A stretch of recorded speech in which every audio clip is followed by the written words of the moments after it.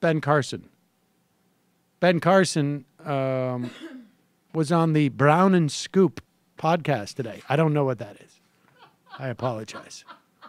I'm sure, to be fair, Brown nor Scoop is aware of the Majority Report. So, Actually, I tweeted this link out, and one of them retweeted my link, so they're aware now, buddy. oh, boom. And uh, and this is what Ben Carson had to say. States. I was a bad kid. um, what would your mother have thought if she were alive to see you run for the White House?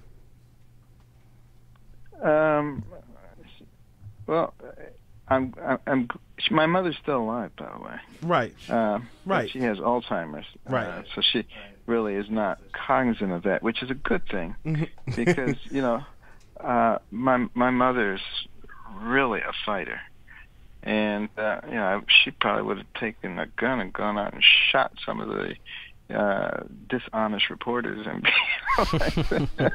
I'm glad we're the good guys. Hmm. Hmm. I that's um that would be an re- aggressive response. I feel.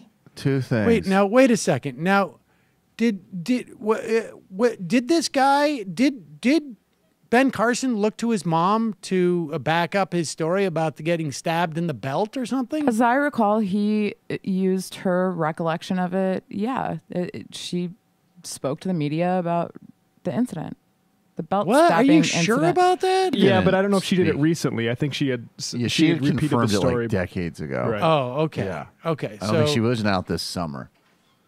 wow. And uh, who are these good guys, Brown and Scoop? Are they really the good guys? I mean, do we know that? Have we confirmed that? I'm not sure. I hope they're good because someone's going to get cut. My mother didn't accept the Lord in her life, so she would literally murder reporters for saying that I wasn't running an effective campaign. Do you know that one time actually I I was able to there was a girl in my hotel room and she was asking me for change and so I said don't don't you want to go to Mike Tyson's hotel room? Hmm. I will never forget his redirecting robbery. That is my favorite Ben Carson story of all time. That's right. When he doesn't even recognize that he's being a sociopath. Like, just like, yeah, that's when I accepted the Lord in my life and never acted in an ethically inappropriate manner again. Which reminds me of another time I was at a fast food place and I goaded an armed robber into turning his attention into a vulnerable teenager at a cash register. and that's what we need to do in this country recollect our ethical and moral bearings. Wow. I still think there's a shot he's the VP. And Really? it's not just, I think that ultimately Donald Trump is going to absolutely pick someone who is in some fashion, you know, a yes man, which Ben Carson is a being there, eccentric yes man, but he's not going to.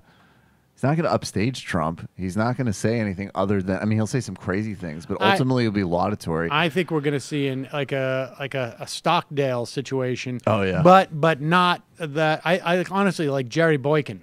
Like I, I like that that would Yeah, strike me Boykin as makes sense. the uh, the most obvious decision would be like a guy like um, you know like Boykin. Is it Jerry Boykin or William Boykin or is Jerry Boykin. You're talking about the, The general former generals that were in a, who- who, were war, clash Yeah. of civilizations with exactly? Islam. I, I mean I think that's his go-to, right? I mean Yes. because that's There's Trump. Trump's like, where's a black general with Alzheimer's who loves me?